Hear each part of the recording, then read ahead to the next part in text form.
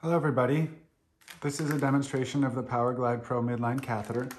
We're gonna go over three things today. We're gonna discuss the catheter and its components. We'll talk a little bit about the basic kit for inserting the PowerGlide Pro midline. And then lastly, we'll do a demonstration using ultrasound guidance on our vascular access phantom. So this is our PowerGlide Pro midline. This is the standalone catheter that just comes with a stat lock. You'll see that this is a 20 gauge here, but it also does come in an 18 gauge uh, and it's 10 centimeters in length. So let's open this package and take a look at the components here. So here's our catheter. Notice that it also comes with something to prep the skin, a uh, bio patch to place um, once the catheter is in, and then a stat lock, which will secure the catheter. So just quickly looking at the catheter, this is um, something called an AST midline. So that's an accelerated Seldinger technique. What that really means is that the guide wire for the catheter is built in.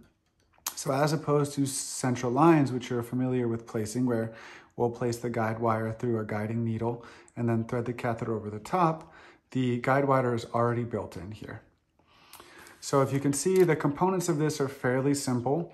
Um, we have our uh, retractable guide wire here. You can see that as I move this forward, the guide wire engages and pulls back. Uh, and then we have wings, which is gonna allow us to pass the catheter off after the, the needle is threaded. Excuse me, after the guide wire is passed. So you can see we'll push the guide wire forward. And then once that's actually all the way forward, you're able to move the wings off. And I'm not gonna move it all the way now because if I do, um, then I won't be able to get it back on. One thing I do want to point out on this catheter is if we look really closely at the tip here, you'll notice that the needle sticks out by about three millimeters, and I'm gonna see if I can get that real close up compared to the catheter. So that's gonna be important when we're entering the vessel to know that we wanna make sure we advance our catheter sufficiently, excuse me, our needle sufficiently, so that when we pass the catheter off, it's not gonna get stuck on the vessel. So it's good to know that there's a three millimeter distance between the needle tip and the catheter right there.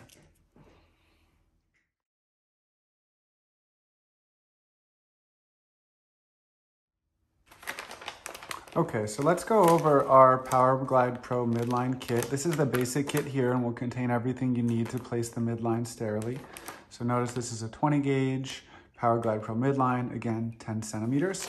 Note also that um, a sterile saline flush does come attached to the outside of the package. I already removed that and you'll need to make sure to dump this onto the field sterilely. So let's go ahead and open our kit. Okay, so I'm gonna just pop it open here. Um, I will um, drop this into my sterile field. The outside of that syringe is sterile remove some of these papers. A lot of these are instructions and then also something that can go in the patient's chart to know that this is a midline catheter and not a central line. We have sterile gloves. We have a thick absorbent uh, towel here, uh, an additional covering, um, and then let's look at the rest of the kit. So we have some sterile gauze, our PowerGlide Pro catheter, chlorhexidine. This is our sterile probe cover. It's 48 inches long with gel inside it. We have a fenestrated drape here that's gonna go over the area that we're going to perform the midline. Um, and then we have uh, our setup for securing the device. So let's go ahead and pop this open and take a look.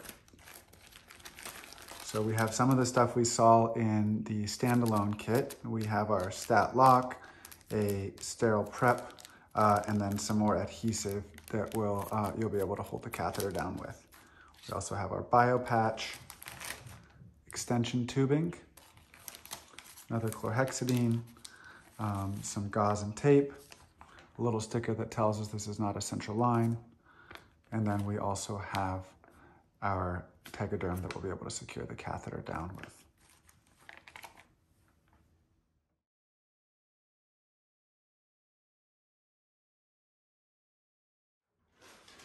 Now we're gonna go over how to place the PowerGlide Pro midline catheter into this vascular access phantom. So before we even get started with our kit, what I always like to do first is to evaluate for a vascular target before even getting started. So non-sterilely, we'll place some gel and get our ultrasound and take a look. So put the probe on here and you can see in the image, we have a transverse view of a vessel in the center of the screen. And what I'm gonna do is I'm fanning away from myself and then fanning towards me, making sure that vessel is staying right in the center. Um, that tells me that this vessel is running perpendicular to my probe. And as I advance the catheter perpendicular to the probe, I'll know that I'll have a nice straight course into that vessel. I also like to confirm it's a vein by compressing down and making sure it's collapsing.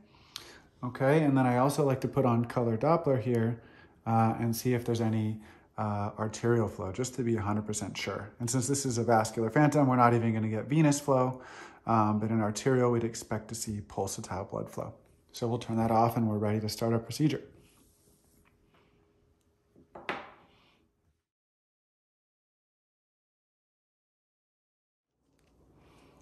All right, so let's go over the procedure now.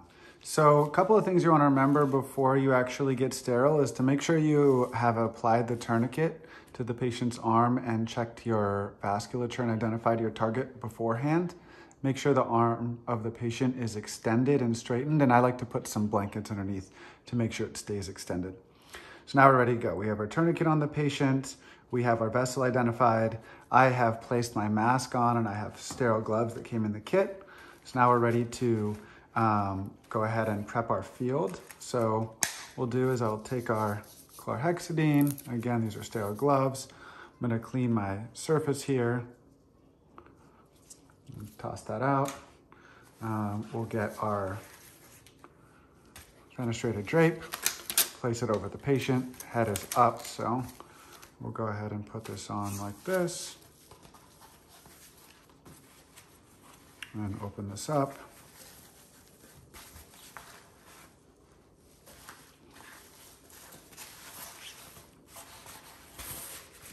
Okay. So now we have our fenestrated drape on the patient and we have a sterile field. So we'll go ahead and ready to get started. So I'm gonna get my ultrasound probe cover set up. So it comes with a sterile gel packet and our sterile probe sheath. Here's some rubber bands we'll use to secure it. So what you wanna do is put your hand into the bag like that, and then you're going to open this up and put a little bit of gel in. Like that, and we're ready to take the probe. So you wanna make sure you have someone who can hand you the probe sterilely. We'll go ahead and pull that off. Perfect. And now I take my little rubber bands and I'm just gonna go ahead and put those over the top. Okay, and now our ultrasound's ready and we're ready to go. So again, I'm gonna put a little bit more gel and again, evaluate my target. So I always check my probe dot and make sure that's facing my left side and the probe marker is on the left side of the screen. We're gonna take a look here. I've identified my vein. I move back and forth. Looks like it's still nice in the center. I'm ready to place my catheter. So really easy.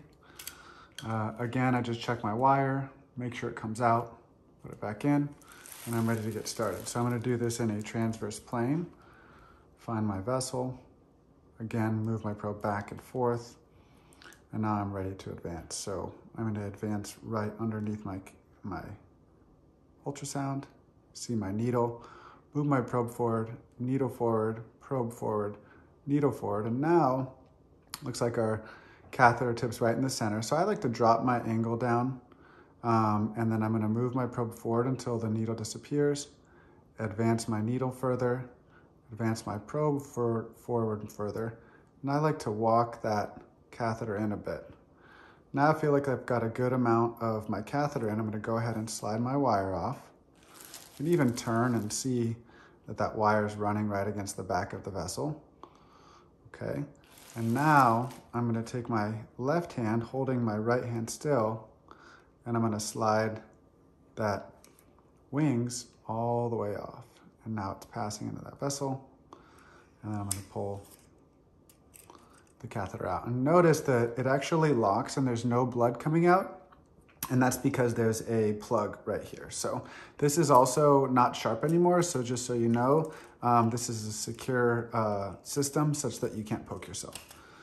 So now I wanna actually attach a hep lock to this, so I'm gonna lift up my wings, so the wings actually lift backwards like this, and I'm gonna actually pull out this little stopper, and you can see that sort of came out.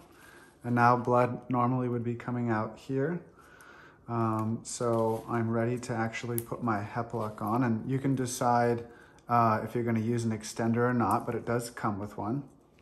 So I will take my extending tubing and just quickly flush it. Attach that on here. I'll just pull back on the syringe to see if I get blood back and then flush it through. Okay. And then I'm going to just clamp this for now. Okay. So now we're ready to secure our catheter. So what we're gonna wanna do is first clean up the area. So prep the area with some gauze. So we'll clean this off. Go ahead and take our bio patch. And we'll slip that right underneath just like that. And then let's take our stat lock out. That's gonna help us secure it to the skin. It makes it really easy. So you can see there's a little hole here. Um, and that's what actually this little tiny blip in the catheter is gonna go through. So there's a little blip on the end of this catheter, purple. Um, we're actually gonna attach that. So I'm gonna pull this straight back slightly just to show you. So we're gonna put it over the catheter and I'm gonna clip it down just like that. And our little piece is gonna snap in just like that. And then all you do is simply take a wing and strap it down, lift this side up, take a wing, pull, and then we've secured our catheter.